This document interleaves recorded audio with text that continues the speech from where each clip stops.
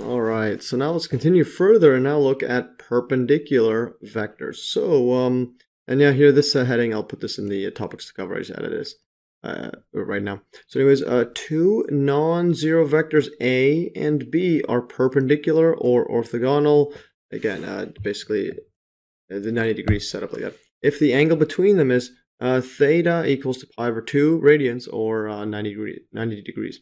Uh, then the alternative dot product formula becomes, or definition 2, uh, this just becomes uh, A dot B for uh, the angles. For the, th the, angle theta is equal to pi over 2. this is equals to, like this, A, like that. yes, this becomes, and then the cosine cosine pi over 2. In other words, this becomes, well, this is uh, 0 actually. So this equals to 0. And we'll illustrate this later. This is cosine pi over 2. And uh, yeah, I'll graph this out later for cosine just to recall it later. But uh, yeah, so cosine pi over 2 is 0. So this whole thing vanishes. And that's when it's uh, orthogonal or uh, perpendicular when the non-zero vectors a and b are perpendicular. And conversely, if the dot product a dot b is equal to 0, then cosine theta is also going to equal to 0, and hence uh, cosine, yeah, so this cosine right here. So this dot product is 0, then this one has to be 0 too if these ones are non-zero. So then you have the cosine is going to be 0, uh, so then the th uh, angle is going to be theta is equal to pi over 2. And uh, yeah, so uh, the 0 vector, uh, uh, this right here, 0 vector, is considered to be perpendicular to all vectors. So yes, very interesting. So zero vector is always perpendicular, just by definition. Therefore, we have the following method for determining whether two vectors are orthogonal.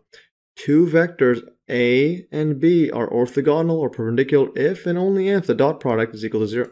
Absolutely, yeah, fascinating stuff there. And now let's take a look at example four. And this one states, show that if 2i, uh, this is the standard basis vector, 2i vector plus 2j uh, minus k is perpendicular to uh, 5i minus 4j plus 2k. So show that this is perpendicular. So solution, determining the dot product, is all we got to do is determine dot product. If it's 0, then uh, it's perpendicular. All right, let's take a look at this dot product. All right, so we get, um, I'm just going to write this like this, 2, and put as regular brackets, the, the vectors are already inside, plus 2i uh, plus 2j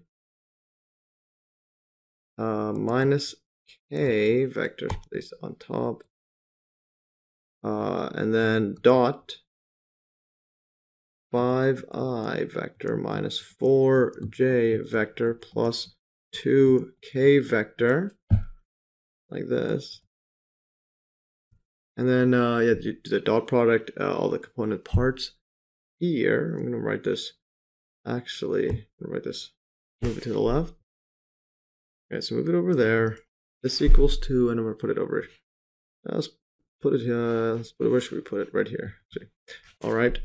And then this is 2 times 5. Yeah, this is going to be 2 times 5. Plus, uh, yeah, 2 times negative 4. And then plus negative 1. And then 2. Like that. This equals to 10 minus 8 minus 2 and yeah this is 10 so this equals to uh, 0 yeah so it is uh, orthogonal. Or perpendicular write a better box. Perfect. All right yeah so uh, finish off example 4 so thus these vectors are perpendicular by the earlier theorem